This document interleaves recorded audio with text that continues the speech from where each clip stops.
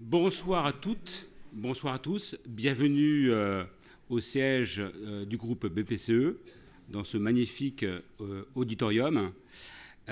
Aujourd'hui, on va parler d'investissement immobilier et on va essayer avec les personnes à côté de moi, qui sont de véritables acteurs depuis de nombreuses années, vont vous donner un peu leur impression leur feedback sur euh, le marché immobilier euh, tertiaire, commercial, euh, un marché qui est en pleine mutation.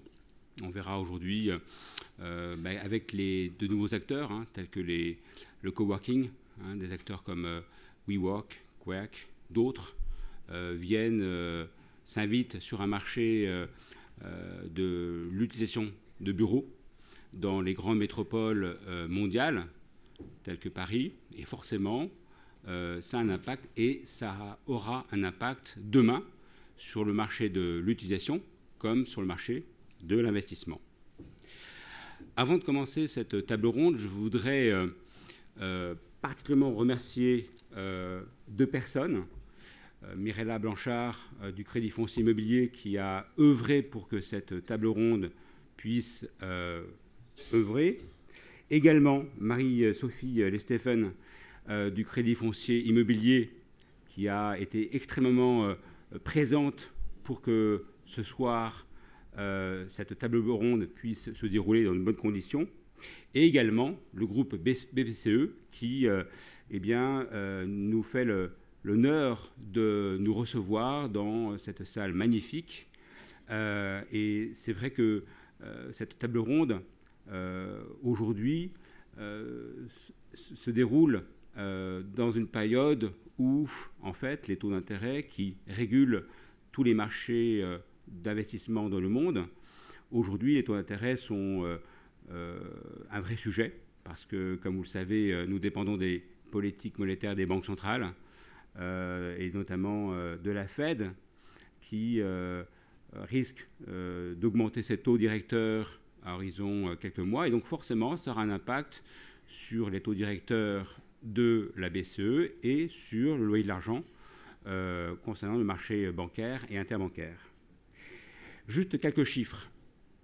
2017 a été une année faste au niveau de l'investissement en France, puisque les investisseurs ont investi 26 milliards d'euros, moins que celle euh, que 2016, puisque euh, les investissements avaient représenté 32 milliards juste euh, une raison qui explique euh, une diminution euh, du montant de la location, c'est moins de produits prime dans le QCA, c'est-à-dire dans le quartier central des affaires, à la vente, et moins de très grands centres commerciaux. Hein. Très grands centres commerciaux dont le, le prix d'entrée est souvent supérieur à 300 millions d'euros. 2017, c'est au niveau de l'investissement dans le bureau, 16 milliards et demi en Ile-de-France, 2 milliards 300 millions d'euros euh, en région, près de 4 milliards dans l'immobilier commercial, donc aussi bien centres commerciaux que les, euh, commerces de pieds d'immeubles. La logistique, près de 2 milliards, 450 millions de locaux d'activité et près de 1 milliard 300 millions d'euros dans l'hôtellerie et les résidences étudiantes. Ce qu'il faut, euh, pour résumer 2017 au niveau euh, de l'immobilier commercial, de l'immobilier tertiaire, c'est, comme je l'ai dit tout à l'heure, l'absence de transactions au niveau des très grands centres commerciaux. C'est euh, quelques mutations à plus de 1 milliard, notamment sur des tours à la défense. Et un secteur qui est en pleine mutation, la logistique, notamment euh, les, locaux XXL qui, en fait, euh, attirent des acteurs tels que Amazon. Amazon qui va ouvrir son sixième, euh, entrepôt à Bretigny-sur-Orge à la fin de l'année, un entrepôt de près de 140 000 m2. Amazon, ça va être six entrepôts au total, totalisant près de 500 000 m2. Donc on voit bien l'appétit de ces nouveaux acteurs qui viennent aussi euh, impacter le marché d'investissement. acteurs qui sont utilisateurs. Donc forcément, il y a en face des investisseurs qui sont prêts à suivre de très belles signatures, quel que soit l'actif concerné. En Europe, un chiffre pour 2017, près de 300 milliards d'euros ont été investis dans l'immobilier tertiaire. Donc on voit bien aujourd'hui, à la fois la France euh, joue, euh, joue, à la fois l'avantage, ou plutôt profite de l'effet Brexit, il hein, faut, aussi le, souligner, puisque la vacance, le taux de vacances, euh, aussi bien à Paris que dans, au niveau du secteur de la défense, n'a cessé de baisser. Hein. la vacance à Paris, c'est-à-dire les bureaux vacants, on est en dessous de 3%, donc c'est un chiffre exceptionnel, mais en bas, donc qui témoigne à quel point l'activité est extrêmement dynamique. 2017, c'était aussi euh, des acteurs tels que les SCPI, OPCI, qui ont euh, collecté euh, énormément d'épargne consécutif des taux de rendement bas pour l'assurance vie. Donc l'épargne individuelle s'est allouée, ou plutôt s'est reportée sur les SCPI. Un SCPI qui aujourd'hui, l'encours de toutes les SCPI représente près de 50 milliards d'euros investis sur différentes classes d'actifs immobiliers. Donc, en fait, nous, avons des questions, on s'interroge par rapport à ce marché qui a été extrêmement dynamique euh, dans l'investissement, de se dire est-ce que 2018 va être un excellent cru? Est-ce qu'on ne va pas manquer de produits de qualité? Il hein? faut savoir que les investisseurs, euh, les banques, les compagnies d'assurance, les, euh, les, caisses de retraite, les mutuelles, les fonds d'investissement recherchent souvent les produits corps encore plus, hein, les produits qui sont extrêmement bien localisés. Et donc forcément, il y a un impact sur euh, eh bien, le taux, puisque comme vous le savez, le prix d'un actif immobilier, quel que soit, son, quel que soit le type d'actif, en fait, euh, c'est un marché d'offres et de demande. Donc aujourd'hui, est-ce qu'on ne va pas avoir encore un manque de produits euh, qu'attendent les investisseurs? Donc pour en parler, j'ai le plaisir de vous présenter Olivier Boussard, qui est directeur général délégué du Crédit foncier immobilier, Cardelâtre, qui est président France de Crown Property, et enfin de Pascal Ploteguer, qui est directeur de projet chez Postimo. Avant de rentrer euh, sur le vif du sujet, c'est-à-dire l'investissement, j'ai envie de poser une question à Olivier Boussard pour qu'il puisse euh, eh nous raconter un peu 2017 à sa manière, pour qu'il vous fasse partager euh, les moments qu'il a vécus dans un contexte euh, extrêmement actif et dynamique. Bon, merci beaucoup. Euh, j'ai la difficulté de démarrer. L'année 2017, elle a été sur le marché d'investissement, on va dire en deux phases, parce que bien évidemment, comme vous le savez tous, on a eu des élections présidentielles. Et à un moment, les investisseurs sont des gens qui aiment être rassurés. Et à un moment, tout le monde a posé le stylo quand même pendant trois mois entre le premier et deuxième tour, où effectivement là le marché s'est un peu temporisé parce que bah, on ne savait pas euh, ce qui en était, euh, quel le résultat. Suite à ça, euh, le marché lui a complètement redémarré et c'est carrément effectivement, comme tu l'as expliqué, finalisé sur le dernier trimestre. C'était ce qu'on appelait un peu un espèce de rallye, un peu comme il y a en bourse, parce qu'il y a eu 9 milliards d'euros investis rien que sur le dernier trimestre, ce qui est 50% du marché de l'investissement rien qu'en Ile-de-France sur un trimestre. Alors, essentiellement des gros deals. Euh, Nicolas en a parlé, effectivement, euh, comme Cœur de France, 1,5 milliard et d'autres. Donc, effectivement, largement boosté ce marché. Euh, donc, ça a été un marché quand même de, grosses opérations, un peu au finish, qui a terminé à 25, 26 milliards, suivant comment on compte. globalement, un petit peu moins que la dernière, mais c'est quand même des gros volumes. Et j'aimerais dire que depuis 3-4 ans, on est quand même sur des volumes aux alentours de 24-25 milliards d'euros quand il y a quelques années, le marché d'investissement, il faisait plutôt 8 ou 9 milliards d'euros en France. Donc on est peut-être arrivé aussi à un moment où notre marché français, il est dans ces niveaux d'investissement et que, hormis quelques petites pointes que peut-être à 27, 28, comme on a eu en 2007, euh, milliards d'investissements, on n'a peut-être pas assez d'actifs pour aller plus loin. Et c'est pour ça que d'ailleurs, que bon nombre d'investisseurs français vont investir aussi à l'étranger parce que bah, le marché, il n'est pas suffisant chez nous en France, où la rotation d'actifs n'est pas assez suffisante pour euh, plaire à l'ensemble des investisseurs. Ça, c'est ce qu'on a constaté sur, le marché de l'investissement euh, en 2017. Donc, un marché plutôt de gros deals, animé essentiellement par des investisseurs français, à 60% globalement.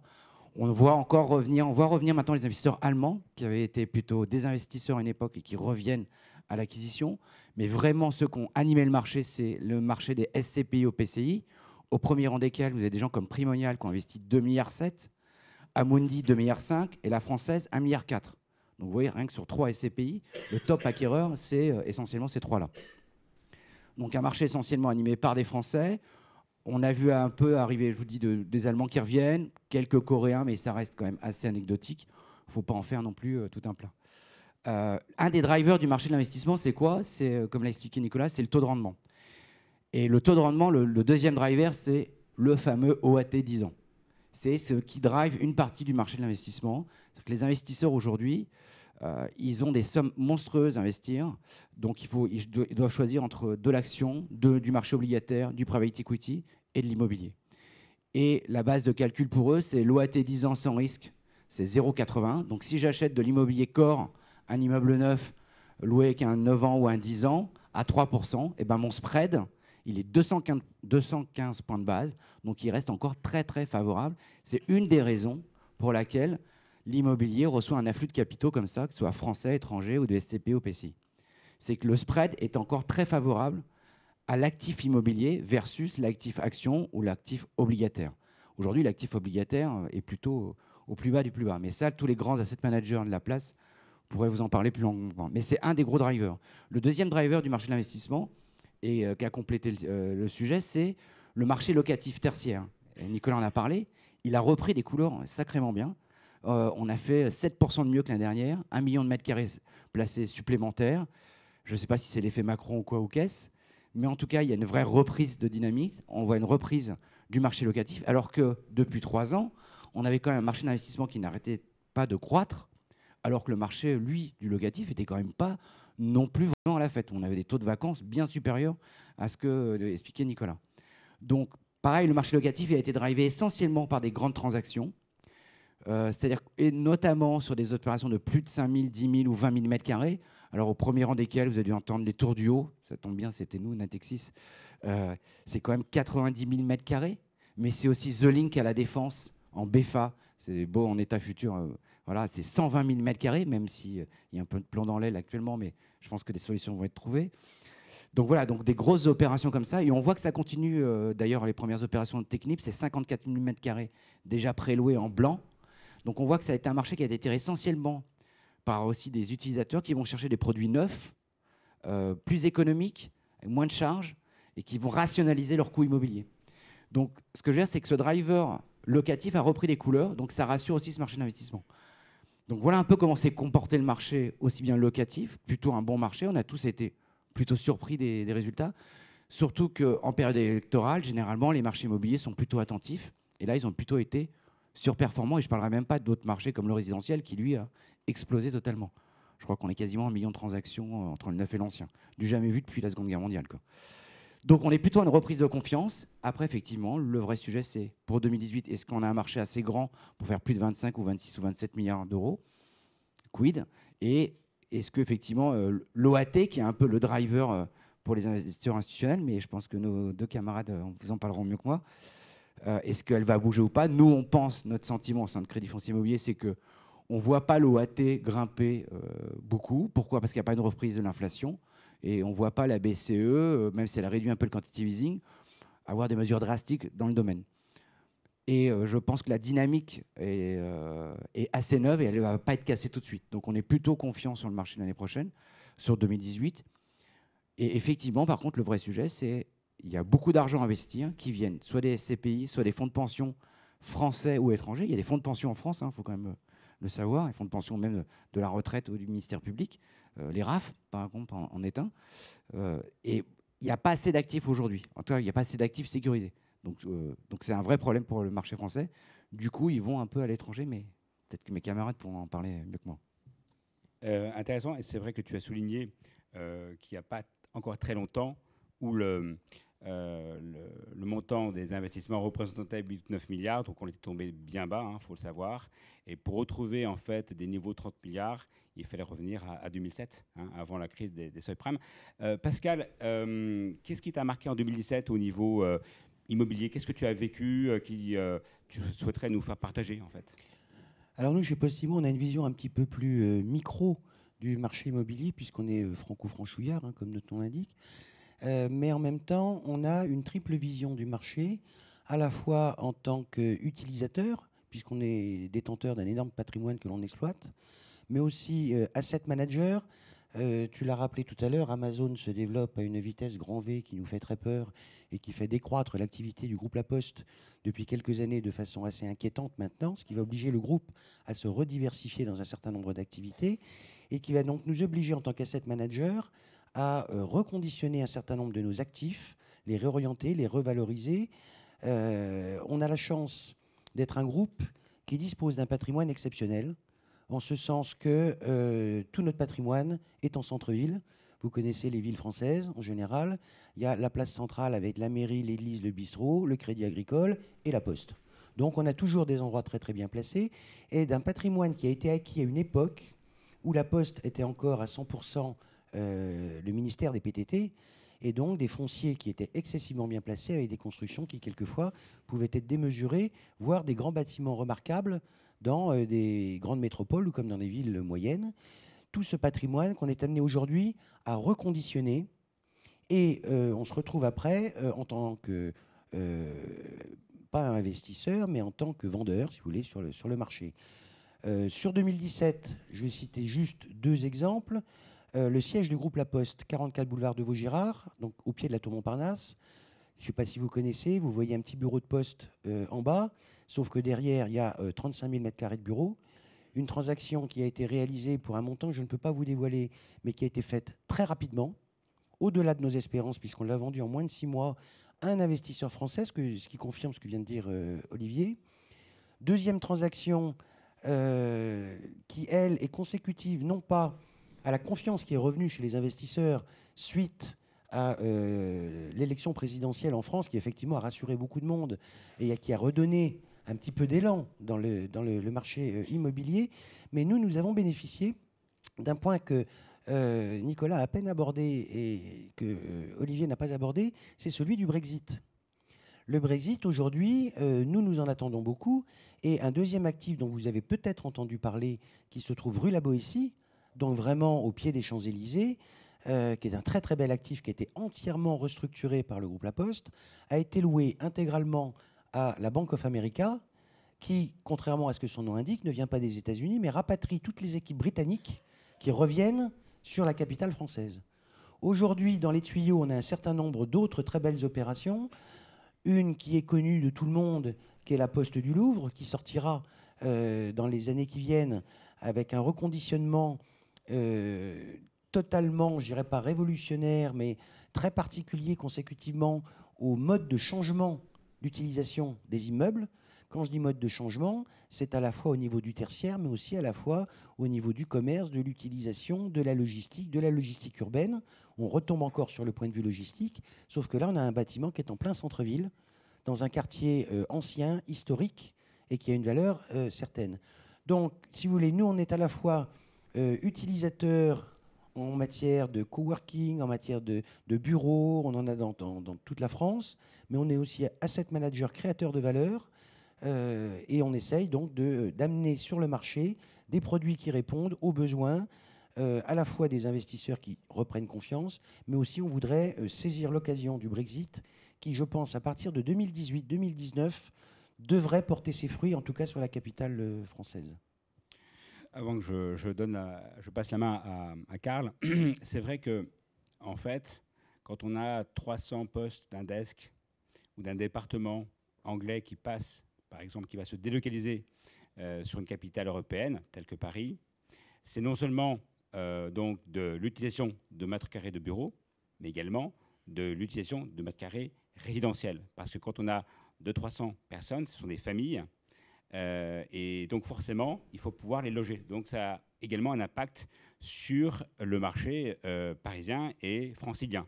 Hein. On a donc deux marchés qui, quelque part, euh, vont pleinement profiter de ces délocalisations. Et donc c'est une, c'est une bonne chose pour le dynamisme de, Paris parce qu'il faut savoir que ce sont des, personnes à haute contribution avec, avec du pouvoir d'achat. Donc ce n'est pas uniquement de l'immobilier, c'est également de, la consommation.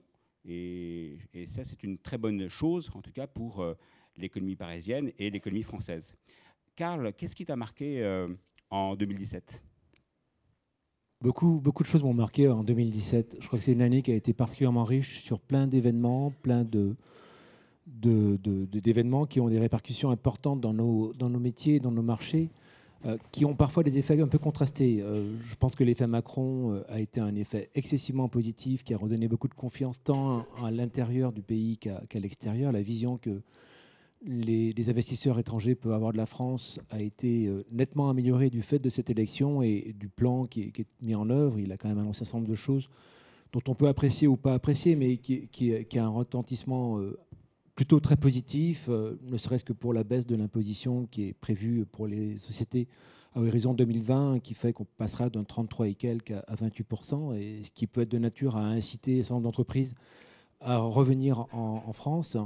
Euh, les Jeux Olympiques, qui est euh, à titre personnel un événement qui m'a profondément marqué, parce que c'est un, rêve de gamin que de pouvoir, très loin, enfin très peu de chez moi, de pouvoir voir des, des un certain nombre d'événements phares que sont les athlètes de façon générale, et tout ce que ça va générer comme élément positif sur le nord de l'île de France, qui là aussi c'est quelque chose de fabuleux dont les répercussions sont concrètes. Hein. on sent sur nos parts d'activité, parce qu'on a un patrimoine qui est assez mixte entre du parcs d'activité et des, bureaux, on sent déjà des pressions en fait, importantes euh, liées au fait que certain nombre d'entreprises euh, considèrent qu'il y a, peut-être euh, opportunité à, à, consolider leur, leur, location sur nos sites. Hein. Donc on a de, belles négociations en cours. On voit revenir des progressions de valeur locative, ce qui est excessivement positif également pour, pour l'économie de façon générale. Tout ça, ça, donne un bel élan, ça donne de belles perspectives. Malheureusement, c'est contrarié par un certain nombre de choses qui sont un peu nos, tourments dans, l'absolu. Les, chiffres sont bons en matière d'investissement, mais quand on compare avec d'autres pays comme l'Allemagne, qui il y a une dizaine d'années était à peu près au même niveau de volume de transactions d'investissement que la France, qui caracole maintenant au double de ce que nous avons fait. Ils sont à 50 milliards d'euros, étalés de façon un peu équilibrée avec cinq villes. Et nous, nous sommes à 26 milliards d'euros, concentrés sur une seule mégapole, en fait très belle, mais néanmoins en ayant un peu de mal à faire émerger d'autres métropoles tertiaires euh, suscitant l'intérêt, même si Lyon, Marseille, Bordeaux, Toulouse suscitent de l'intérêt, mais ce n'est pas de taille significative à recréer euh, cet espace un peu plus équilibré qu'on peut trouver en Allemagne. Les Pays-Bas, la Hollande euh, a connu avec 19 milliards d'euros une croissance mais colossale et qui montre peut-être qu'il y a d'autres alternatives que Paris pour pouvoir accueillir des institutions qui quitteraient Londres parce qu'il y a un cadre de vie, parce qu'il y a un contexte euh, peut-être beaucoup plus ouvert sur, euh, sur euh, la, façon d'accueillir un certain nombre d'entreprises qui se délocalisent. Donc 19 milliards, c'est colossal en fait en termes de croissance. Je crois qu'ils étaient à 15 milliards l'année précédente. Donc bien sûr, on tient nos positions, mais on, les tient en voyant un certain nombre d'autres pays émerger et se développer. Et si on a encore un peu de mal, parce qu'il y, y, a encore nos souffrances qui sont une taxation qui est terrible en fait. Hein. Je, on ne le dit pas suffisamment, mais l'immobilier est lourdement taxé à l'acquisition, à la gestion, à la vente.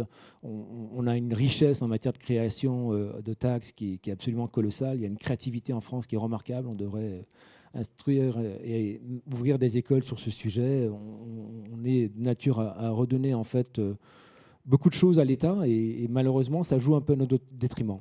Et pour finir, à titre, du groupe, c'est une très belle année également parce qu'on on a eu l'occasion euh, de changer de nom. On s'appelait précédemment Valade, on, s'appelle maintenant Cromwell, du nom de notre foncière australienne cotée à Sydney et, qui nous a racheté il y a deux ans et qui a marqué un peu plus euh, le souhait de, générer des synergies entre les, deux continents. Et de façon plus concrète, on, a introduit un fonds d'investissement à Singapour euh, qui a vocation à, investir en fait en, Europe avec un, beau succès qui nous a permis et nous a mobilisé beaucoup pour pouvoir organiser cette introduction en bourse, mais qui nous permet maintenant de pouvoir espérer de, nouveaux développements et, peut-être accompagner un certain nombre de, capitaux asiatiques euh, pour s'investir en Europe. Dans les 300 milliards qui ont été annoncés sur la, zone Europe, euh, il y a une large part qui viennent de capitaux asiatiques, quels qu'ils soient, euh, coréens ou d'autres. Et je pense que c'est des pays qui connaissent une industrie, une économie euh, particulièrement forte. Et ce qui n'est malheureusement peut-être pas le cas de la France qui euh, arrive à 2% de croissance de PNB l'année dernière, en 2017, après avoir été revu régulièrement, mais reste un peu euh, en retrait par rapport à la moyenne européenne et souffre peut-être d'avoir encore une économie qui est un tout petit peu trop tertiaire, pas suffisamment industrielle, ce qui peut générer aussi des problématiques sur, sur d'autres classes d'actifs comme les locaux d'activité que, j'ai très à cœur. Donc paysage très marqué, très varié. Et, pour finir, le fait que Cœur Défense soit une nouvelle fois vendu, je trouve ça bien, parce que c'est une belle opération. Euh, elle a marqué à chaque fois des tournants, donc je ne sais pas comment il faut le prendre, mais c'est une, belle, une belle opération. pour ceux qui effectivement ne sont pas dans le, dans le secteur, Cœur Défense est une véritable bande dessinée, ou plutôt un roman. Hein. Je crois que c'est une tour qui, euh, en fait, pourrait être un, véritable, une véritable cas d'école, hein, euh, entre le, moment où elle, a vu le jour début des années 2000 et ensuite une succession de, comment dire d'investisseurs, d'utilisateurs. Euh, on pourrait faire en fait euh, euh, sur cette tour de Cœur Défense qui fait, je crois, 160 000 m2, on pourrait vraiment en faire une, thématique de table ronde. question, Olivier, comment les, les, investisseurs, enfin plutôt les institutionnels, vont arbitrer 2018 Est-ce qu'ils vont être un peu dans ils vont être euh, observateurs, est-ce qu'ils vont être acteurs? Tout va dépendre de, l'offre de, produits euh, sur le marché. Alors, euh, ce qu'on constate en tout cas depuis le début de l'année, c'est que clairement, le marché étant quand même assez à des niveaux de taux très compressés, il y a certains investisseurs qui aussi en profitent pour arbitrer un certain nombre d'actifs et bénéficier de cette compression des taux pour des actifs qui sont un peu moins corps ou ce qu'ils appellent dans leur jargon les petites lignes. Alors les petites lignes, pour certains, c'est 5 millions, pour certains, c'est 20 millions, pour d'autres, c'est encore plus. Euh, bon, Gessina a mis par exemple des nettoie ses portefeuilles comme ça, à coup de. on a eu un portefeuille l'année dernière pour 90 euh, millions d'euros. Donc voilà, donc on, sent qu'il y a quand même euh, une fenêtre de tir pour arbitrer ce type d'actifs. Bon, ça, on, le sent bien. sur le, sujet des investissements, bah, tout le monde recherche un peu la même chose, sauf que tout le monde veut du corps bien loué, sauf qu'il n'y a pas assez d'actifs. Donc du coup, on, sent quand même les investisseurs institutionnels revenir sur des actifs un peu plus dits corps plus, c'est-à-dire où il y a une petite prise de risque à prendre pour aller chercher un taux de rendement quand même un peu supérieur, qui peut être soit sur des actifs euh, en VFA, en blanc ou en gris clair, quand on est dans le jargon, c'est-à-dire un peu loué mais pas complètement loué, euh, pour aller chercher un taux de rendement un peu supérieur, ou euh, sur des actifs à retravailler. Donc, ce qui est assez étonnant, euh, ce qui était chose qu'on ne voyait pas de la part des institutionnels classiques, euh, qui allaient plutôt sur de l'osmanien ou des immeubles neufs, euh, avec tous les labels, avec un 9 ans ferme, etc. On voit revenir des gens comme Generali, comme les, grands classiques, sur des actifs à retravailler. Donc, mais la vraie problématique, c'est aujourd'hui, il n'y a pas tant d'actifs que ça pour eux. Donc, en termes d'arbitrage, c'est plutôt les petites lignes et plutôt les actifs de seconde couronne qui continuent à être arbitrés. Certains, vont chercher, fonds fermés, eux, profitent de la fenêtre de tir pour vendre les gros actifs. On l'a vu, une eBay euh, qui met en vente euh, Capital 8, 750 millions d'euros, euh, entre 750 et 800, suivant comment ça va se terminer. voilà, donc ils profitent de ces fenêtres de tir pour avoir des compressions de, taux. Voilà, c'est un peu le sentiment qu'on a. Le résidentiel revient une classe d'actifs qui est écoutée par les investisseurs institutionnels. Pourquoi? Euh, parce que bah, le bureau est tombé à des taux de rendement tellement bas, aux alentours de 3, 3,25, qu'ils se disent bah, tiens, pourquoi pas du résidentiel? J'en veux pour preuve qu'actuellement, il y a un portefeuille sur le marché qui est mis en, vente, qui est un énorme portefeuille, c'est 1 milliard 200 000 euros. Donc c'est le portefeuille euh, de la SNCF. Et je peux vous assurer que j'étais assez surpris du nombre de coups de fil d'investisseurs qui m'ont appelé en disant écoutez, on veut euh, regarder ce portefeuille à l'acquisition. Et des gens qui n'étaient pourtant pas des gens qui allaient acheter du logement. Alors, c'est l'effet masse, hein, effectivement, un milliard euh, d'euros, c'est beaucoup. Euh, mais du coup, ils se disent, tiens, euh, le résidentiel, on va peut-être y revenir. Tu parlais du commerce, on voit qu'il y a un peu de désamour sur le commerce parce que plein, de personnes se posent des questions sur le e-commerce, le poids du e-commerce dans le retail park ou dans les centres commerciaux. On voit qu'il y a une génération de centres commerciaux qui souffrent quand même beaucoup. On a soit des nouveaux centres commerciaux où là, ils sont prêts à investir, mais il faut qu'il y ait un concept d'animation, mais je pense que Karl en parlera largement mieux que moi. Et euh, par contre, effectivement, on voit qu'il y a beaucoup de prudence sur l'actif commerce, hormis l'actif de pied d'immeuble de commerce en centre-ville. Il y a un retour un peu sur le logement, mais à quel niveau on a du mal à, le doser. Et sur le bureau, clairement, ils vont chercher un peu plus de risques pour attraper un peu plus de rendement, parce que je pense qu'on est un plancher de verre, ou un plafond de verre, je ne sais pas comment on peut dire ça, plutôt un plancher de verre, ou 3%, ok, on peut entendre parfois que ça peut tomber un peu en dessous. mais on ne voit pas comme quoi les taux vont vraiment descendre plus bas. à quelque chose, toute seule valeur égale, quelque chose qui est bien loué. Voilà. Donc du coup, ils vont aller chercher plus tôt mais je pense que Karl est un bon exemple. Je ne sais pas quelle est sa stratégie, mais il va pouvoir nous l'expliquer. Je pense qu'il va aller rechercher un peu de risque pour aller chercher un peu de rendement. avant, que, avant, que avant que Karl rebondisse, euh, ce qu'il faut savoir, c'est que depuis, je crois, vous allez me le confirmer ou pas, ou l'affirmer, euh, on a des, je crois, Foncière des régions qui est assez euh, investi, enfin assez impliqué, notamment dans le résidentiel allemand. Et ça, je crois que c'est depuis 2-3 ans. donc le marché a été extrêmement surpris à l'époque, mais finalement, il y, a, du sens, puisque autant avoir euh, euh, sur, la, sur la durée, euh, avoir un récurrent. il faut revenir en arrière. Hein, il faut savoir qu'à la fin des années 80, les, fameux zinzins, hein, donc les banques, assurances, détenaient ou avaient en portefeuille 1 200 000 logements hein, en patrimoine. Donc, bon, on va pas. Voilà, c'est pour dire qu'ils étaient présents. Ils ont dû se, désengager pour différentes raisons. Et là, c'est intéressant, de voir euh, non pas forcément les mêmes acteurs, hein, mais d'autres institutionnels qui, finalement, euh, par manque de produits dans le tertiaire ou par de nouvelles stratégies, euh, préfèrent prendre des portefeuilles importants et les arbitrer. Et c'est ce qui se passe notamment avec Foncière des régions pour, pour l'Allemagne. Il y en a d'autres. Donc là, c'est intéressant de, de, voir comment ça va évoluer. Juste pour préciser sur le logement, c'est une classe d'actifs qui est un peu à part, mais c'est une classe d'actifs qui a été mal aimée par les institutionnels parce que à l'époque le rendement bureau était à 6-7% et pourquoi aller garder du, résidentiel à 3, 3, 3,5 ou 4% En plus, en résidentiel, la différence du bureau, c'est que toutes les charges ne sont pas récupérables. En résidentiel, vous avez des charges dites non récupérables qui sont à la charge du bailleur, donc qui viennent détériorer donc le rendement. Sauf qu'aujourd'hui, effectivement, face à la pression euh, des taux en, en, bureau, ils se disent tiens, pourquoi pas? Et autre chose, c'est que quand il y a eu des crises, et pour ceux qui ont des cheveux blancs, qui n'en plus beaucoup, on se souvient qu'on était bien content d'avoir des actifs un peu mixte, logement, bureau, commerce, parce que c'était les seuls qui se vendaient. Et que les actifs bureaux qui étaient un peu vacants, c'était compliqué, compliqué. Parce que l'actif logement, il a deux façons de se vendre. On peut soit le revendre en bloc, mais aussi on peut le revendre à la découpe appartement par appartement. Donc il y a une double sortie. Et donc du coup, c'est un actif qui a certes pas un fort rendement, qui est certes qui est plus compliqué à gérer, parce que quand vous avez un immeuble de 50 logements, bah, c'est 50 locataires, alors qu'un bureau, bah, vous avez un bail à envoyer euh, quatre fois dans l'année, terminé point barre, pour la même euh, surface. Mais en cas de crise. D'abord, c'est rarement vacant en totalité un immeuble de logement. Ou alors c'est qu'on l'a voulu, euh, parce qu'il y a quand même un problème de logement en France. Et puis en plus, on peut le vendre soit en bloc, soit on peut le vendre à la découpe. Donc il y a une double sortie. Donc c'est pour ça aussi qu'il y a peut-être un retour euh, de certains institutionnels sur cette classe d'actifs. Euh, Pascal, qu'est-ce que tu veux rajouter justement par rapport à ce qui a été dit? Alors moi, je ne suis pas du tout investisseur, donc euh, je ne vais pas trop me mêler à, cette conversation. simplement, pour rebondir sur ce que dit Olivier, c'est vrai que le logement avait des rendements de l'ordre de 3 et 3,5%, moins effectivement toutes les charges non récupérables et autres, qui pouvaient le faire descendre à, mettons, 2,5, 2,7%. Mais ce dont il faut se rappeler, ce qui est très important, c'est qu'à l'époque, l'OAT était aux alentours de 2%. Donc vous aviez un spread qui était tellement faible que c'était un actif à très grand risque.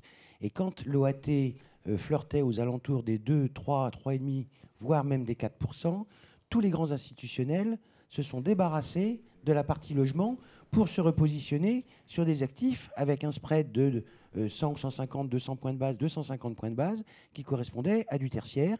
Tertiaire, soit CBD, soit du tertiaire euh, en périphérie de ville. Maintenant que euh, l'OAT redescend aux alentours de 8, que le bureau, comme il vient de le dire, est aux alentours de 2,5, 3, c'est-à-dire avec un spread très faible, le logement, du coup, redevient un gain d'intérêt pour les investisseurs.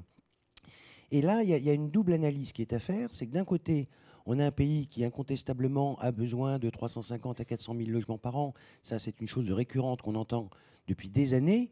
Euh, mais il ne faut pas oublier qu'indépendamment des besoins, euh, les investisseurs, eux, regardent avant tout les marchés financiers plus que les besoins des utilisateurs. Et donc, en fonction de la variation de l'OAT à la hausse ou à la baisse, les investisseurs vont se reporter sur des produits qui leur permettront de garantir un spread permanent. C'est-à-dire que, je vais vous raconter n'importe quoi, imaginez, Dieu merci, ça n'arrivera pas, que l'OAT remonte à 5%, la logistique va devenir la clé de voûte de tous les investisseurs au détriment du bureau et du logement. Vous voyez ce que je veux dire? Et si au contraire l'OAT redescend de nouveau, elle est à 0,8. Imaginez qu'elle redescende à 0,2. Le tertiaire va reprendre le dessus. Donc toujours bien comparer la valeur de l'OAT avec un spread de, mettons, 200 points de base. Après, ça dépend des stratégies des, investisseurs. Il y a des opportunistes, et puis il y a des investisseurs long terme qui, eux, raisonnent plus sur 10 ans, mais sur beaucoup plus. Mais ayez toujours en tête, en matière de marché de l'investissement, euh, cette variation de l'OAT avec un spread dessus euh, variable entre 150 et 250, 300 points de base selon le, type d'investisseur. Euh, Karl, justement, comment en 2018, selon toi, les les investisseurs vont arbitrer? Est-ce qu'ils vont être euh, dans l'action? Est-ce qu'ils vont euh, rechercher euh, coûte que coûte un produit? Ou comment tu vas comment vois-tu ces, ces, mois qui vont arriver? Très bien. Tu es confiant? Non, enfin, d'abord je réponds à Olivier parce qu'il m'a quelque part passé la main sur deux ou trois sujets. Et j'enchaîne avec ta, question pour, pour donner peut-être un panorama plus important pour le futur. Pour ce qui est de, la création de valeur dans l'immobilier, alors chaque acteur, chaque investisseur a, des logiques un peu différentes et c'est ce qui fait l'intérêt de ce, ce, métier et ce marché en fait. C'est-à-dire qu'il n'y a pas du tout les mêmes attentes. On a toujours un, triptyque sur lequel il faut qu'on statue entre le risque, la rentabilité et la liquidité. On n'a pas du tout la même appréhension sur le, risque qu'on peut prendre et c'est ce qui fait en fait la, force et qu'il y a toujours des contreparties dans ces marchés. Après, c'est une question de prix le cas échéant et de temps. Euh, pour créer de la valeur, c'est un peu plus complexe maintenant sur les marchés qui sont devenus un peu matures parce que, euh, parce qu'il y, a, comme on l'a expliqué, il y a des capitaux qui sont collectés pour lesquels la rentabilité finale, qui est euh, la distribution faite auprès de particuliers, n'est peut-être pas au même niveau que des capitaux qui sont beaucoup plus exigeants en termes de rentabilité. C'est le curseur, c'est le taux de rendement interne, c'est le TRI. Il peut fluctuer entre 5% pour ceux qui ont une appétence faible pour le risque, mais souhaitent avoir des cash flows avec des, situations locatives stabilisées, c'est-à-dire des beaux long terme importants, ils sont prêts à, prendre des opérations à des niveaux de rendement immédiats qui sont relativement faibles. D'autres souhaitent plus essayer de créer de la valeur à, court ou moyen terme et sont prêts à prendre un risque plus important qui devient difficile en Ile-de-France parce que des, des, secteurs qui étaient considérés il y a quelques années comme étant des secteurs un peu émergents, comme la, la boucle nord encore, en fait, euh, la zone de Saint-Ouen, euh, Saint-Denis, sont devenues maintenant des, zones très recherchées et pour lesquelles on a des valeurs locatives et des taux de rendement, euh, valeurs locatives élevées et des taux de rendement très faibles. Ce qui me pose des problèmes dans mes comités, parce qu'on parle toujours de comparables dans ces comités, il faut rapporter des preuves que lorsque nous prenons une opération, on est en mesure de le faire à des conditions qui soient intéressantes par rapport à, ce qui s'est fait par le passé. Et toutes les valeurs que j'ai pu annoncer sur des zones de Saint-Ouen ou d'Aubervilliers sont les plus hautes qu'on ait connues depuis très longtemps. Donc euh, mes, personnes qui sont participées à ce comité ont des difficultés à comprendre euh, comment je peux me permettre d'être sûr que je pourrai revendre à une valeur plus élevée. Le marché, pour l'instant, euh, m'a montré que nous nous trompions, qu'on est toujours dans un cycle qui est pour l'instant très, très fort et très important sur ce secteur. Donc il faut peut-être travailler sur d'autres zones qui sont en voie d'émergence. Et c'est le Grand Paris Express est un axe particulièrement intéressant dans des horizons de travail sur 5 ans, 10 ans. On aura de nouvelles dessertes, on aura de nouveaux horizons qui vont nous donner d'autres perspectives. C'est pour ça que je reste très confiant dans, ce, dans cette perspective de, trouver de nouveaux produits. Le, le, sujet commerce est un sujet particulier. J'aurais l'humilité de parler juste de, cas pratiques. J'ai essayé de travailler euh, sur des opérations où j'ai voulu créer de la valeur en commerce et je me suis rendu compte que l'évolution des, comportements des enseignes par rapport aux propriétaires fait qu'il était difficile de stabiliser un loyer. En d'autres termes, il était difficile de pouvoir s'assurer qu'on ait au moins une partie fixe euh, qui soit versée régulièrement pendant les années à venir parce que l'évolution fait qu'on est de plus en plus sur une logique de variable et de plus en plus importante. Et les investisseurs n'aiment pas parce que ça donne un côté un peu, un peu flou, un peu aléatoire sur la sortie et sur les perspectives de pouvoir euh, être sûr qu'on va stabiliser, c'est-à-dire qu'on va s'assurer d'avoir euh, euh, des, des, cash flows, donc des entrées d'argent liées à ces loyers qui soient déterminés à l'avance. Donc les business plans, les cash flows ne fonctionnent plus vraiment. C'est un autre mode opératoire. Il faut entrer dans d'autres logiques qui sont plus des associations entre un savoir-faire pour animer un centre commercial et pour pouvoir euh, euh, s'assurer que les grandes enseignes y sont et après essayer de voir comment on peut, le cas échéant, essayer de stabiliser tout ça. Mais ça devient un, peu plus compliqué de mon point de vue. Encore une fois, c'est un point de vue très personnel.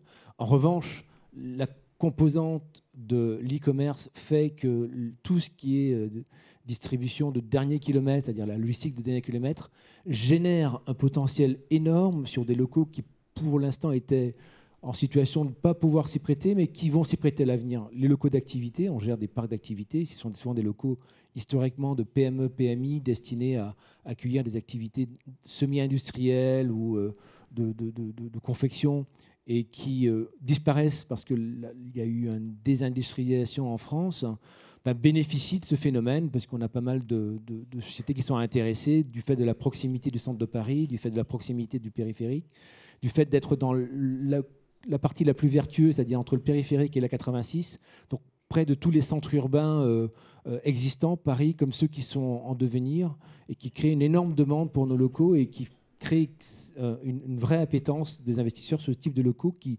deviennent de plus en plus importants. La logistique, à mon sens, elle évolue vers deux domaines, soit le XXL qui a été déjà souligné, on a signé Amazon, Conforama a fait la plus grosse opération en matière de, de commercialisation, puisqu'ils ont pris près de 180 000 m2 de mémoire de surface logistique, ce qui est énorme et qui montre la mutation en fait de, la logistique pour ces grandes enseignes. À l'inverse, toutes les, le fait que vous retrouviez près de chez vous ou chez vous-même euh, bah, des produits que vous avez commandés le matin génèrent euh, des besoins en matière immobilier et qui, dont on peut bénéficier en tant qu'investisseur.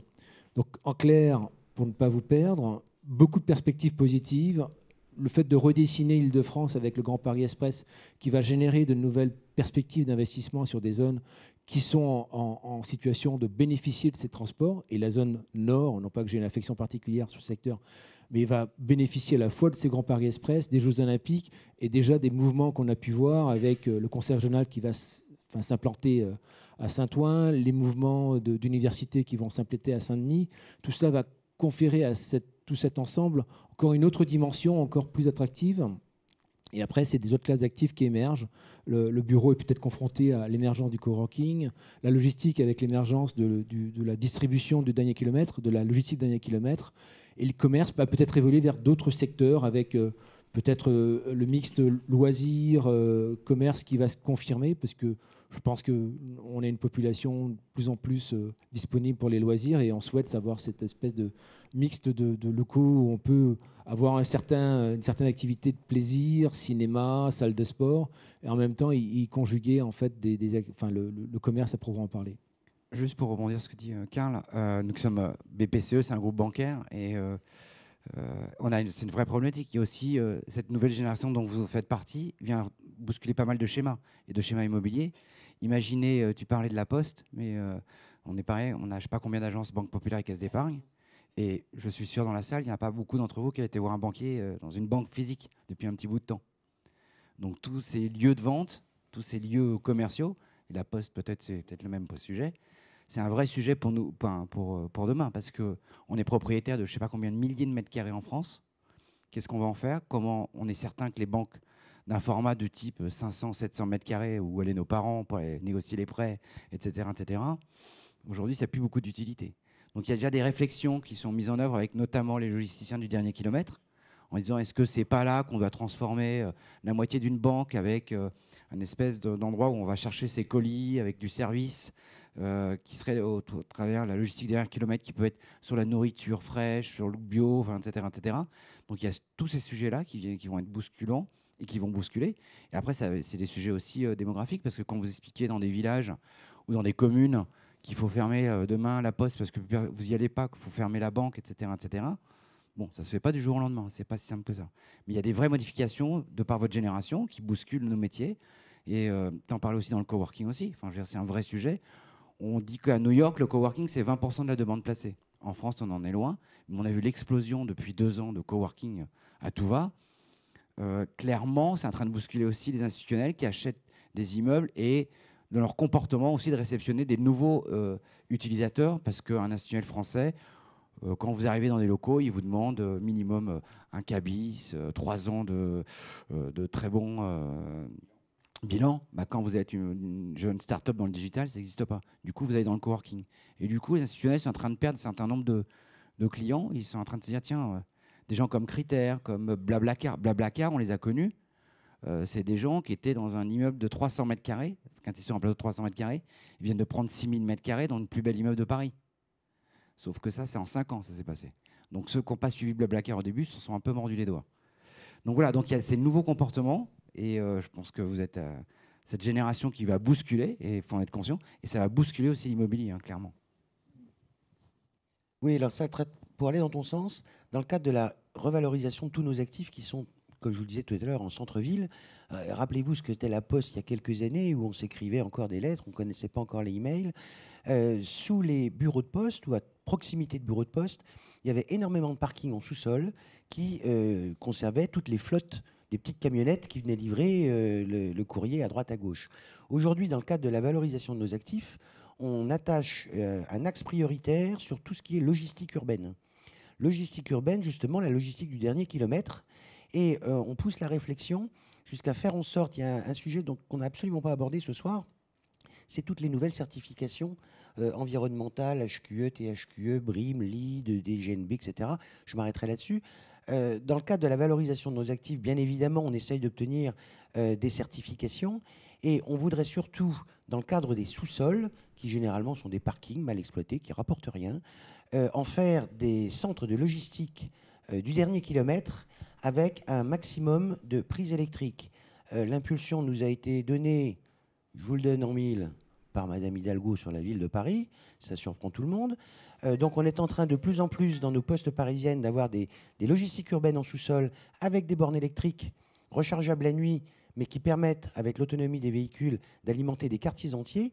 Et quand je dis logistique urbaine, ce n'est pas logistique urbaine pour la poste. C'est logistique urbaine pour de l'alimentaire, pour des vêtements, pour euh, toutes sortes de produits qui seraient des, en fait des micro-relais des euh, centres de logistique XXL qui sont euh, en périphérie.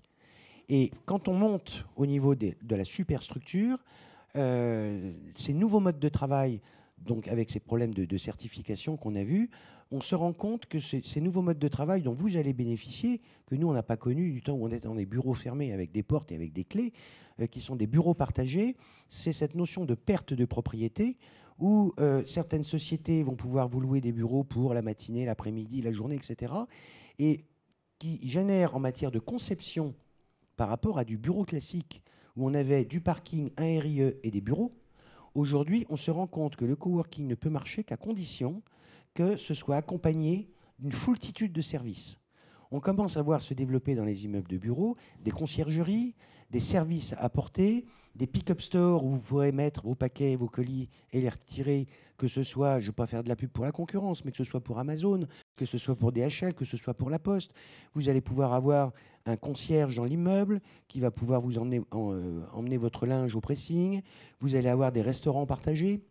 De plus en plus, on voit des types de restaurants, sans faire de publicité, style Mamie Cocotte ou autres, qui s'installent dans des centres de coworking qui sont partagés, qui vont permettre en plus euh, on a franchi une étape il y a une dizaine d'années en passant du bureau fermé au bureau paysager, euh, qui ont permis déjà une certaine communication intra-entreprise, où on s'est rendu compte que la communication au bureau fermé n'avançait pas grand-chose et qui a permis de faire évoluer les mentalités.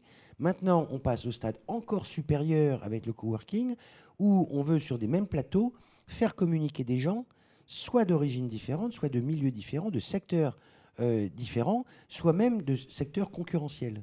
Et donc, ça nous oblige, quelque part, en matière euh, de certification, d'énergie, de gestion de la sécurité, de la sûreté, de l'informatique, des transferts, etc., à être obligé de repenser une totale nouvelle euh, façon d'aborder le, monde du travail, et notamment au niveau immobilier. Pascal, est-ce que tu pourrais nous dire ce que c'est qu'un immeuble corps et un immeuble corps plus pour que le public puisse, entre guillemets, savoir ce que c'est, en fait? Et pas, tu la réponse?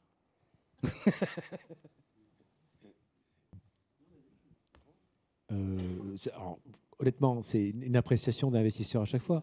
Le, concept de corps, c'est le fait d'avoir euh, toutes les cases qui soient cochées. Hein, euh, localisation exceptionnelle, c'est le quartier d'affaires de Paris. locataire exceptionnel, c'est une, un, grade E, comme on dit, en fait, c'est-à-dire quelqu'un qui a une très belle notation financière.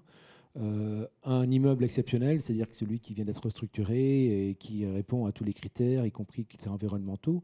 Et dès qu'on s'éloigne un peu de, ces critères, c'est-à-dire qu'on tombe dans un, secteur périphérique, euh, une situation locative un tout petit peu moins stabilisée, c'est-à-dire qu'on a peut-être un bail qui arrive à échéance dans un an, dans deux ans, ou un immeuble qui est un tout petit peu plus ancien, ben, on tombe dans la logique Core Plus, qui est une logique qui a été créée entre ce qu'on appelle le value added et le core.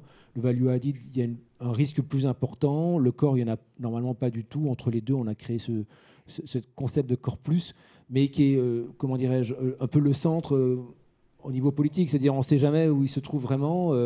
chacun a une perception un peu différente du Core Plus. Et c'est en revanche un territoire où beaucoup, euh, Olivier le soulignait, de, d'investisseurs initiaux qui, avaient, qui ne voulaient pas y aller, ils vont parce qu'ils ont du mal à trouver en fait dans le corps. Donc du coup, ils achètent massivement des immeubles des années 80 euh, avec un, multilocataire, une vacance de 10-20% et ils considèrent que leur savoir-faire et le marché leur donnant raison pour être en mesure d'améliorer un peu l'immeuble et d'atteindre 100% euh, d'occupation. C'est le concept de Corps Plus qui émerge que je trouve un peu la, zone floue où chacun se cache euh, parce qu'on nomme pas vraiment le value added où le risque est plus important. Et du coup, on, fausse un peu la donne. C'est un point vue personnel.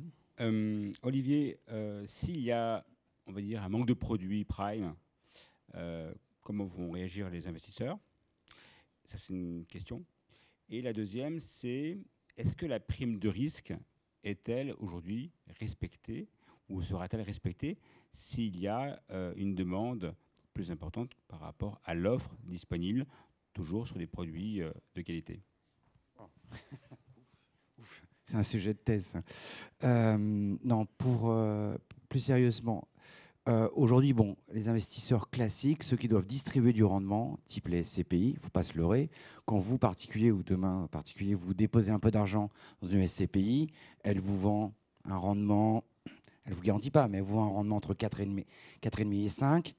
Il faut qu'elle vive, donc elle en prend deux. Donc, euh, bon, il faut qu'elle achète minimum du 3 Donc, euh, cet argent, il faut bien qu'il soit, soit placé. Donc, aujourd'hui, euh, tout le monde veut un peu des, produits sécurisés. À un moment, on l'a vu déjà l'année dernière, il que vous allez chercher un peu de risque. Donc, dans ce fameux corps mou, qui est le fameux corps plus, où on ne sait pas trop, mais en gros, c'est je prends un immeuble qui est plutôt bien et puis j'accepte qu'il y a un peu de risque locatif où le quartier me va bien, euh, mais je sais que le locataire, je ne sais pas, il est en fin de bail, est-ce qu'il est va euh, proroger pour 6 ans ou est-ce que j'ai le risque qu'il parte? Bon, je prends un petit risque, mais il est là.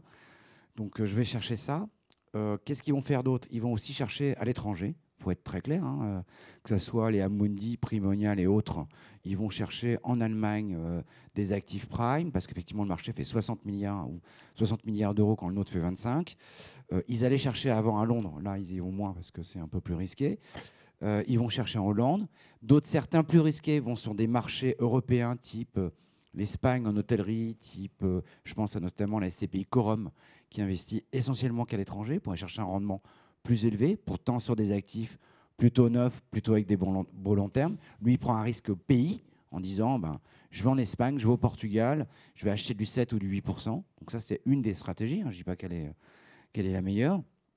Mais en tout cas, il y en a certains qui Et puis il y en a qui se diversifient, qui se disent bon, ben voilà, je ne vais pas aller que sur du bureau. Je vais aller chercher peut-être de la résidence gérée, qui n'est pas vraiment du logement, pas vraiment du bureau. Mais en gros, c'est euh, bah, j'ai quand même un immeuble qui ressemble à du résidentiel. Et puis j'ai un bail commercial de 9 ans, où je peux avoir un taux qui me garantit aux alentours de 5%. Où je vais sur de la résidence médicalisée. C'est notamment ce qu'a fait Primonial l'année dernière en achetant un portefeuille d'un milliard 3 à Gessina, qui s'appelait Gessimed, où là, il a été attrapé un taux de 5, 5,5, donc sur un gros, gros portefeuille. Donc, ils vont sur des actifs un petit peu différenciés pour aller chercher un rendement euh, un peu plus sécurisé. Donc, euh, soit de la résidence euh, gérée, soit de la, résidence médicalisée, soit de l'étranger. Parce que de toute façon, il faut bien aller chercher, il faut bien aller placer cet argent, parce qu'ils collectent toujours autant d'argent, peut-être un peu moins que la dernière, mais la collecte est quand même importante. Après, la question, c'est euh, est-ce qu'on va casser la barre des trois? Euh, Moi, je pense, enfin, je trouve les investisseurs, euh, quand même, après l'année 2017 qu'on a passé, tous à se dire, on a l'impression qu'on a atteint un maximum, qu'on va pas qu'on descendra pas plus bas parce que quand même, même l'OAT est à 0,80 et tu l'as bien expliqué, c'est un des drivers. Si ça remonte un petit peu, quand même, on est quand même vite basculé en arrière. et que leur stratégie, c'est plutôt d'aller chercher un petit peu de risque en se disant, ben, comme ça, si le marché décroche, c'est un peu moins grave que de dire aller acheter toujours du corpus et se battre. Parce que très clairement, aujourd'hui, quand vous avez un actif à 90 ou 100 millions d'euros à vendre sur le marché ou 200 millions d'euros, euh, là, on a eu euh, récemment euh, une opération, on a reçu quasiment 20 offres. 20 offres de, de 100 millions d'euros, ça fait beaucoup d'argent sur la table. Donc c'est une vraie compétition. Et du coup, effectivement, malheureusement, celui qui a gagné l'immeuble, c'est celui qui a payé le plus cher. hein. Ça, malheureusement, c'est comme ça. Et du coup, quand vous rachetez, vous remettez les droits, etc., etc., bon, c'est la prime de risque, elle est très très courte. Donc je pense qu'on a quand même touché un, point bas. Évidemment, ça et là, il y a peut-être certains qui vont acheter ce qu'on appelle un trophée à 7, parce que ça va être un immeuble sur les Champs-Élysées ou un immeuble sur l'avenue euh, Matignon. euh, voilà, bon. Et on peut descendre sous 3. Mais globalement, le marché va rester bloqué à 3, je pense. Euh, et les gens vont être prudents, les investisseurs vont être prudents, ils vont aller chercher à ce moment d'investir soit sur des actifs un peu différenciés, soit sur des actifs un peu à l'étranger, soit à prendre un peu de risque et à parier un peu plus de risque. Et je pense, enfin, je ne sais pas ce que tu en penses, mais en tout cas, les premiers euh, sentiments qu'on a quand on rencontre tous les investisseurs, et on a une semaine du MIPIM, qui est notre grand marché des investisseurs internationaux, tout le monde a l'air de dire euh, on descendra pas en dessous de 3. Quoi. On est un peu le point bas. Quoi. Euh, Karl, justement, par rapport à offre de produits euh, Prime, encore, encore plus, et surtout prime de risque. Donc, quid de la fameuse prime de risque? Elle existera toujours, la prime de risque. Je pense qu'il faut euh, être conscient du fait que la, la classe d'actifs immobiliers est une classe d'actifs reconnue, donc il y aura toujours des investisseurs qui vont vouloir se positionner. Et ceux qui, en France, ne le feront plus sur tel ou tel type d'actifs seront relayés par d'autres avec d'autres logiques. Les fonds souverains ont parfois une, appréciation euh, qui est un peu différente. Le fonds euh, norvégien a, pris, a fait beaucoup d'acquisitions en, en France à l'époque en partenariat, maintenant en direct. Ils ont à chaque fois acheté dans, dans des conditions qui fait qu'on était sans doute en deçà de ce qu'on on a évoqué en termes de taux et au-delà en ce qu'on a évoqué en termes de prix au mètre carré. Mais ils l'ont fait parce qu'ils sont dans une logique de protection de- du- d'une épargne sur des horizons de 20 ans, 30 ans.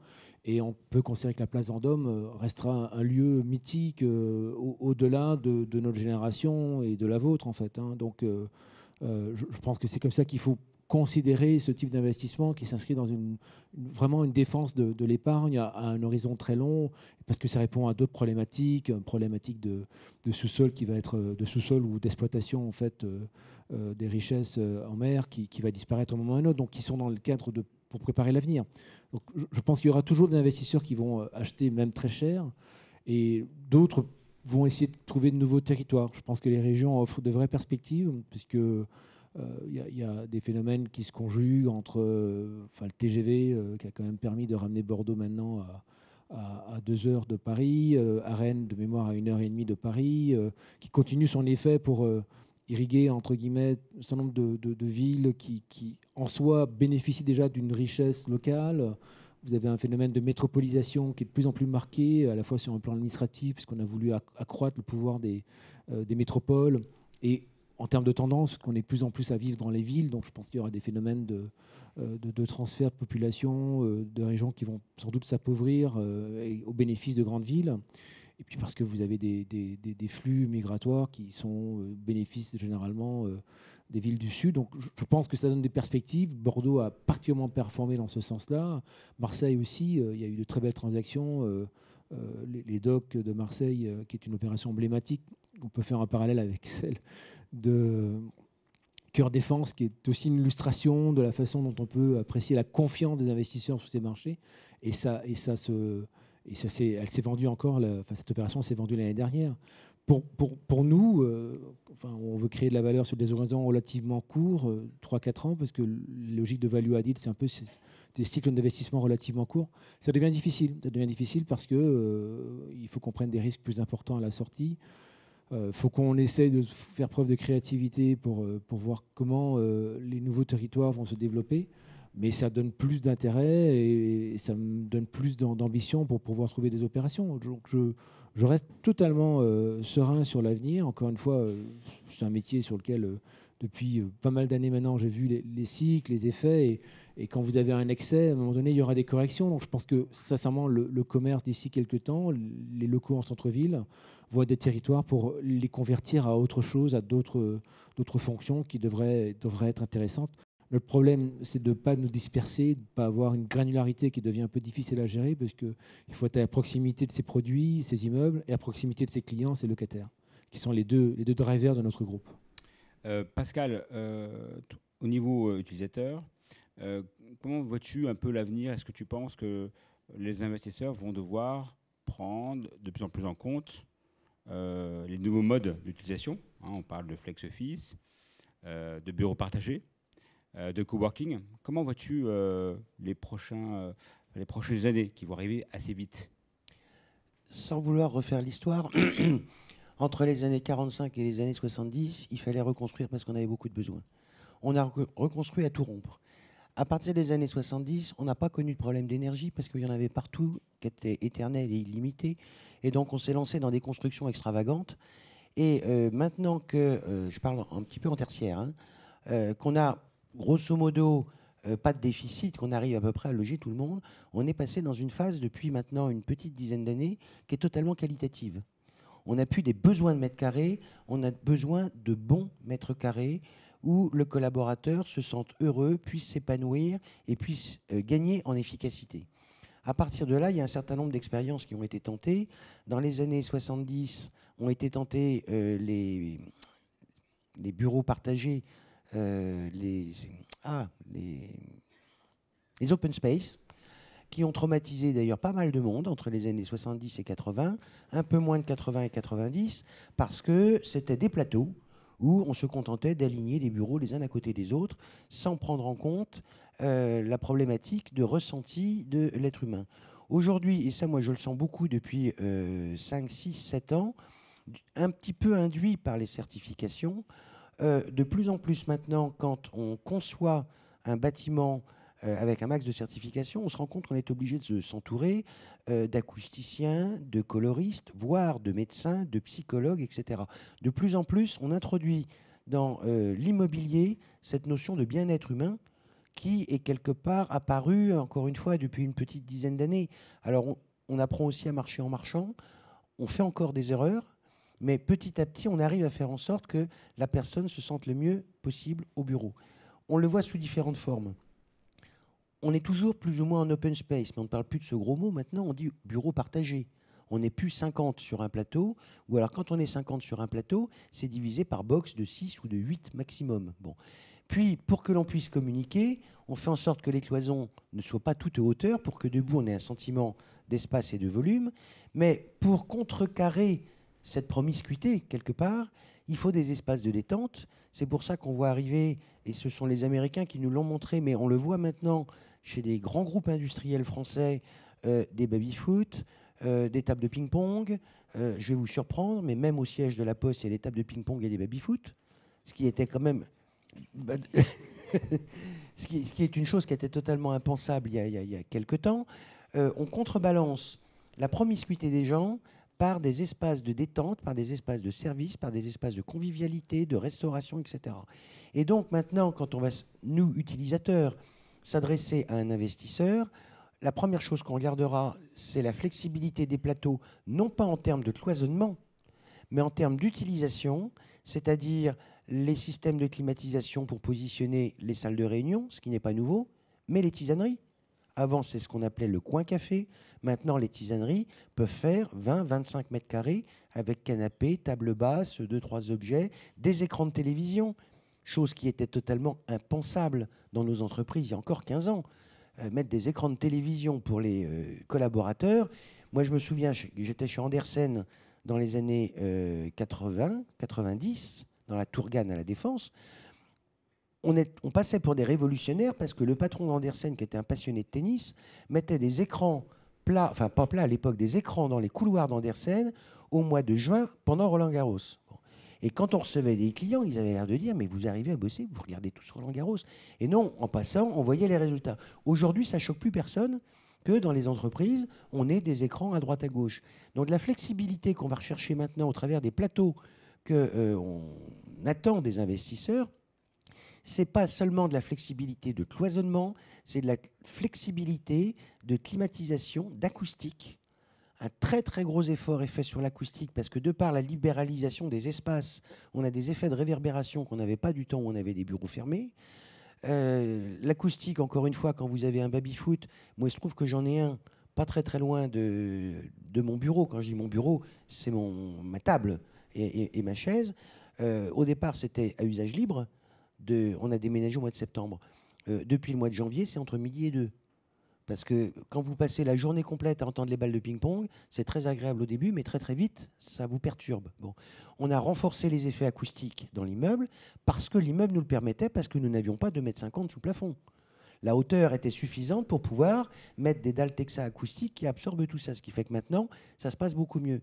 Mais l'approche de, euh, de, de l'utilisateur est une approche beaucoup plus humaine qu'une approche 100% travail au sens labeur du terme. On va attacher de l'importance aux couleurs, on va faire passer des ergonomes, je ne sais pas si vous en avez dans vos bureaux, mais de plus en plus maintenant, les ergonomes passent et regardent les positions de travail des différents euh, collaborateurs.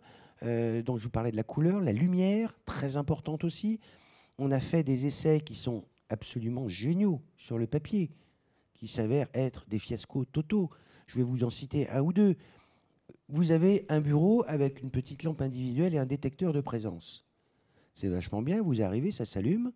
Vous allez faire une photocopie, ça s'éteint pas parce qu'il y a une tempo de 1 à 2 minutes que vous ne retrouviez pas dans le noir. Et surtout, quand tous les collaborateurs sont partis le soir, économie d'énergie maximum, tout le monde est hyper content. Sur le papier, l'idée est géniale. Maintenant, si vous avez des plateaux de 1000 m2, le faites surtout pas. Le faites surtout pas, parce que l'expérience a montré que quand vous aviez des plateaux de plus de 500 mètres carrés, au moment où les collaborateurs s'en vont le soir, le cadre supérieur qui veut rester travailler sur son dossier un peu plus tard que les autres, et qui espère ou qui compte travailler une heure ou deux sur son dossier, au bout de 20 minutes, temps moyen relevé par les psychologues, il s'en va, parce qu'il se retrouve avec sa lumière, un plateau noir devant lui, qui est complètement anxiogène, et même si c'est quelqu'un qui a des fortes responsabilités, au bout de 20 minutes, il n'est pas bien. Je dirais pas il a la pétoche, il n'est pas bien. Il se sent pas bien. Donc vous devez contrebalancer ce genre d'excellentes idées par des LED un peu partout qui permettent d'avoir une certaine lueur sur l'ensemble du plateau. Donc l'économie que vous avez réalisée est largement pondérée par ce genre de choses. Deuxième exemple, génial sur le papier. Vous savez, les lumandards, ce sont ces petits appareils qu'on met au ras de la façade qui euh, indique à euh, la lumière euh, artificielle l'intensité qu'elle doit produire en fonction de la lumière du jour. Vous êtes en pleine journée, il fait très beau, pas de lumière. Puis petit à petit, le soir arrive, le ciel, le soleil se couche, ça c'est tous les jours, comme dirait Coluche. Et à ce moment-là, le lumandard met une très très légère lueur qui augmente tout doucement, tout doucement, tout doucement, ce qui fait que vous ne voyez pas le soir tomber.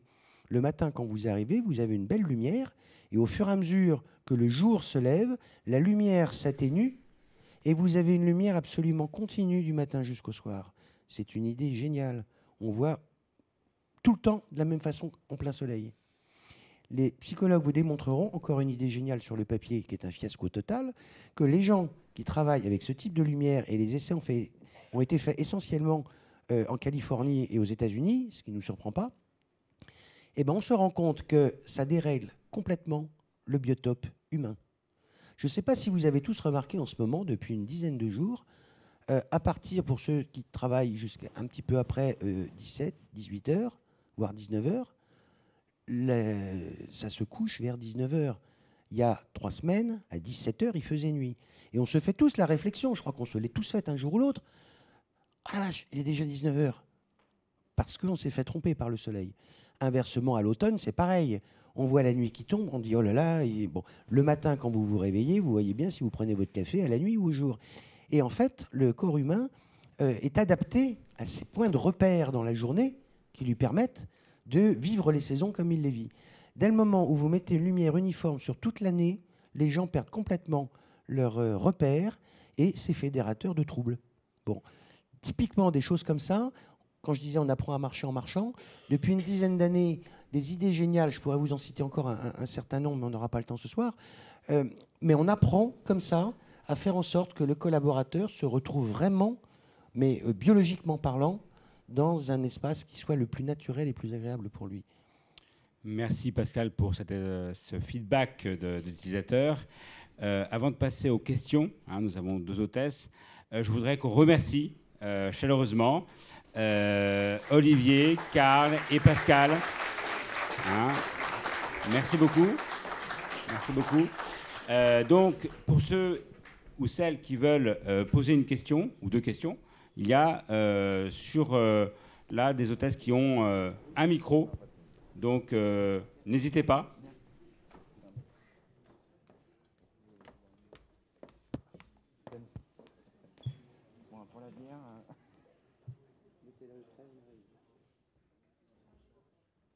Hmm.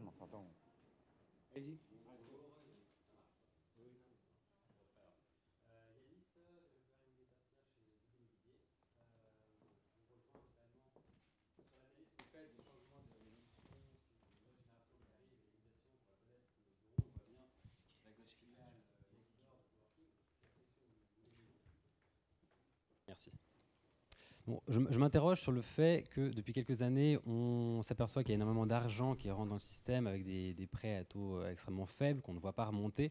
Comment se fait-il qu'on euh, ne constate pas, malgré ça, une inflation croissante au fil des années? On ne la voit pas, on ne la sent pas venir.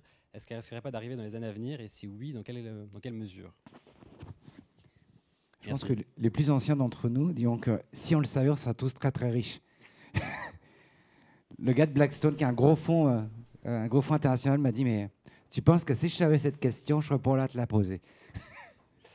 Non, mais euh, j'entends, mais les drivers de l'économie, euh, c'est compliqué. Franchement, si on avait tous une boule de cristal pour dire. ce qui est clair, c'est que là où vous avez raison, c'est qu'à un moment, quand l'inflation repartira, les taux forcément vont remonter. Ça, c'est à peu près mécanique. Tous les économistes sont à peu près d'accord sur le sujet. À la question pourquoi l'inflation repart pas aujourd'hui, malgré que les taux sont bas. En fin de compte, la politique de la BCE, c'était de mettre beaucoup d'argent sur le marché à des taux très bas pour redonner confiance, pour, pour consommer de nouveau. Bon, mais néanmoins, on voit que, alors pour les Français, on thésaurise plus que qu'on ne consomme hein, quand même. Il faut savoir qu'en France, on est les rois du livret A, du PEL, etc., etc. Et malgré que le gouvernement ait baissé les taux de rendement de ces produits-là, euh, on a encore vu, euh, je crois que ça a été annoncé, une collecte euh, de dingue sur ces produits-là. Donc, on va pas faire un cours d'économie, mais c'est évident qu'aujourd'hui, euh, personne ne sait quand va redémarrer l'inflation. Si on le savait tous, euh, on serait tous bien, bien contents de le savoir. C'est sûr qu'il y a un mécanisme entre reprise de l'inflation et un moment remontée des taux. Mais aujourd'hui, comme il n'y a pas de reprise de l'inflation et qu'il n'y a pas de reprise de croissance aussi, parce qu'on parle de à peine 1,8-2%, il n'y a pas de quoi non plus s'énerver avec, ça, il n'y a pas de risque, mais professeur d'économie qui est à côté de moi va en faire plus long, de reprise tout de suite de remontée des taux. Hein. Euh, c'est ce qu'on constate en tout cas aujourd'hui. Mais après, personne entre nous sera capable de vous dire dans deux ans où est-ce qu'on en sera. Sinon, on ne serait pas là ce soir, je vous assure. Je serais sur un bateau aux Caraïbes et je donnerais des coups de fil et j'expliquerai comment sont les marchés immobiliers et financiers. Oui, euh, juste pour compléter, en fait, les banques centrales, en l'occurrence la Fed, qui est quand même la, plus grosse banque centrale mondiale, n'a pas intérêt à augmenter ses taux euh, directeurs d'une façon importante. Au contraire, elle a intérêt à, éventuellement, en fonction euh, de l'inflation américaine, puisque c'est en fonction de l'inflation américaine qu'elle ajuste ses taux pour justement euh, que celle-ci euh, ne dépasse pas un certain plafond, elle n'a pas intérêt à, augmenter ses taux d'une façon importante, puisque, comme vous le savez, l'économie américaine, 70% de, la, des, des consommateurs, ou plutôt 70% de la consommation, c'est le, PIB américain. Donc on n'a pas ils n'ont pas intérêt à, réduire le pouvoir d'achat des consommateurs. Et ensuite, tout ce qui va avec, c'est-à-dire euh, l'industrie euh, du crédit, la consommation, euh, du crédit des étudiants, de toute l'activité du crédit. Hein. Je vous rappelle que l'encours actuellement aux États-Unis de tous les crédits auprès des particuliers, c'est 13 trillions de dollars. Donc ce sont des sommes considérables qui sont ensuite repackagées sur le marché obligataire. Donc, comme vous le savez, euh, pour avoir évité un effet euh, de manque de liquidité et un effet domino, hein, puisque vous savez que les, investisseurs euh, fonctionnent également sur la, confiance. Donc celle-ci a intérêt à être rassurée par la, politique de la Fed. et en plus, aujourd'hui, l'industrie, ou plutôt l'activité économique américaine se porte relativement assez bien. donc elle n'a pas intérêt à, quelque part, euh, remet le couteau dans la plaie, autrement dit, à perturber euh, le marché de l'investissement, le marché euh, des consommateurs et également l'activité bancaire. Donc, en fait, s'il y a une y a une augmentation des taux, elle se fera en douceur, mais elle n'a pas, pas, vocation à justement impacter négativement tous les marchés, y compris le, premier, le plus grand marché mondial de l'immobilier qui, se trouve, qui se trouve aux États-Unis. Est-ce qu'il y a encore une, une ou deux questions? Non? Donc, merci beaucoup, messieurs, en tout cas, pour cette table ronde. Je crois qu'un dernier applaudissement pour eux. Merci.